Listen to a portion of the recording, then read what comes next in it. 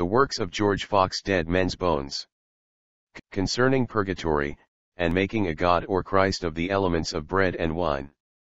Concerning the traditions the Jews taught, which made the word and commandment of God of none effect, and the traditions the apostate Christians teach people to follow, and set up above the scriptures of truth. How Christ is the true rock, and not Peter.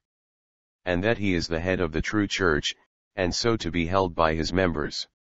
The antiquity of the cross of Christ, which was and is acknowledged to be the power of God by his true church. By G.F. The Lord said, Whoever touches the body of a man that is dead, or dies in his tent, and purifies not himself, he defiles the tabernacle of the Lord, and that soul shall be cut off from Israel, because it purifies not itself. And whosoever touches any that are slain with the sword in the open field, or a dead body, or the bone of a man, or a grave, shall be unclean seven days, and if he do not purify himself, he shall be cut off from among the congregation, because he has defiled the sanctuary of the Lord. Number 19 colon 11 13 16. And this was the law of God, and a perpetual statute among the Jews. And now, do you apostate Christians imagine to do miracles with dead men's bones, or the dust of the graves, which defiled the Jews, and they were not to come into God's tabernacle or sanctuary, but to be cut off according to the statute and command of God, if they were not purified.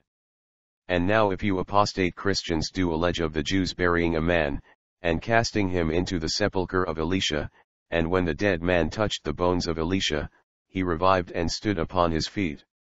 2 Kings 13:21. But where was ever such a miracle as this worked by the apostate Christians, by burying one in the grave of another. Let them produce one example if they can. Let all the apostate Christians produce one scripture wherever the saints got the bones of the saints to do miracles by. Of praying to the saints that are dead, and asking counsel of the dead, and praying for the dead. Let all the apostate Christians produce one scripture for their vain tradition of praying for the dead, or to the dead, or asking counsel of the dead. But Saul when he had transgressed the command of God, and disobeyed him, he went to the witch of Endor, pretending to raise up Samuel, to ask counsel of the dead, but what was the end of Saul? You may see in 1 Sam 28 11-20. And David prayed to God while his child was living. But when the child was dead, he gave over praying to God for it, and fasting, and said, Now the child is dead, I cannot bring him back again, I shall go to him, but he shall not come to me. 2 Sam 12 16 23. The grave cannot praise you, death cannot celebrate you, those who go down into the pit cannot hope for your truth. ISA 38 18. The dead praise not the Lord. Psalm 115 17. And yet do not you pray to the dead, that cannot praise the Lord? And Solomon said, The dead know not anything. ECC 9 5. And yet do not you pray to those who know not anything? Is not that madness? Concerning the apostate Christians' tradition of a purgatory, after they are dead. Solomon said, All turns to dust again, and who knows the spirit of man that goes upward? And the spirit shall return unto God that gave it, so then not into purgatory. Eccle 3 20 21, 12 7. And Elisha prayed for the Shunammite's child that was dead, and he was raised up to life, so he does not say he prayed him out of purgatory. And when Lazarus, that poor man, died, he was carried by angels into Abraham's bosom.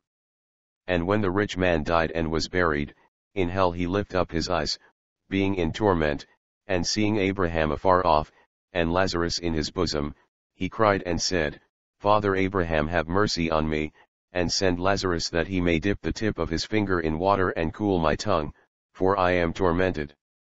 In this flame. But Abraham said, Son remember that you in your lifetime received your good things, and likewise Lazarus evil things, but now he is comforted, and you are tormented. And besides all this, between us and you there is a great gulf fixed, so that they which would pass from here to you cannot, neither can they pass to us that would pass from there. Luke 16 19 26.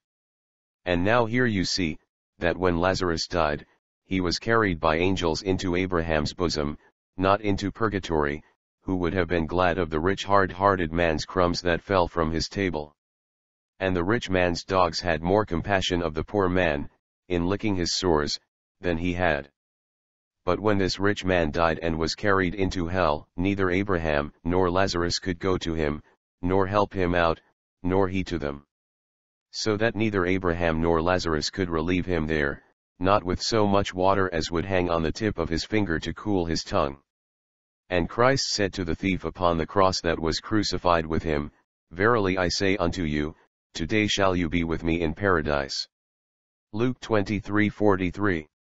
So he does not say, he should go into purgatory, to be purged, but as Abraham said to the rich man that was in hell, if they will not hear Moses and the prophets, they will not be persuaded if one rose from the dead. For these were the Jews to whom Christ spoke this parable, who set up their traditions, and made the word of God and his command of none effect, so they were not like to hear Moses and the prophets, who like the apostate Christians now, set up their vain traditions above the holy scriptures of Trud. H and allow the ignorant people to read their traditions, and deny them the reading of the scriptures, contrary to the holy men of God that gave them forth, to be read, believed, fulfilled, and practiced, as in 2 Tim 3.16, John 7.38, Luke 24:25, 1 Thessalonians 5.27. Give attendance to reading, 1 Tim 4.13. And Christ exhorts his hearers to ask in his name, and whatever you shall ask the Father in my name, he shall give it you, as in John 16 23-26. And again Christ teaches his disciples to pray, and say, Our Father who is in heaven. So that Christ never taught his believers to pray either to his mother, the Virgin Mary, in her name, or to any saint, or in the name of any saint after they were dead, nor his apostles after him. And the Apostle James said in his general epistle to the Church of Christ, If any of you lack wisdom, let him ask it of God, that gives to all men liberally. James 1 5. And John said in his general epistle to the Church of Christ, If our hearts condemn us not, then we have confidence towards God. And whatever we ask we receive of him, because we keep his commandments, and do those things which are pleasing in his sight.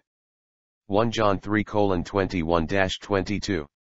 And again John said, This is the confidence that we have in God, that if we ask anything according to his will, he hears us. 1 John 5 14-15. And it is said, Saul died for his transgression which he committed against the Lord. And also for asking counsel of one that had a familiar spirit, the witch of Endor, and inquired not of the Lord, and therefore he slew him. 1 Chron 10 13 14. And you read of such that set the counsel of the Lord at naught, and would have none of his counsel, and what was their end? Prov 1 25 26. And the Lord said, My people ask counsel at the stocks, who were gone a whoring from God. Hos 412. Were not these the Jews that followed their own traditions, and made the commands of God of none effect, like the apostate Christians that pretend to pray to saints that are dead, and for the dead, that set up so many images and kneel down before them, but hear what is said in Isa 30 1. Woe to the rebellious children, said the Lord, that take counsel, but not of me, and cover with a covering, but not of my spirit, that they may add sin to sin. So here you may see what is the portion of all such that cover with a covering, but not of God's Spirit and ask counsel, but not of him.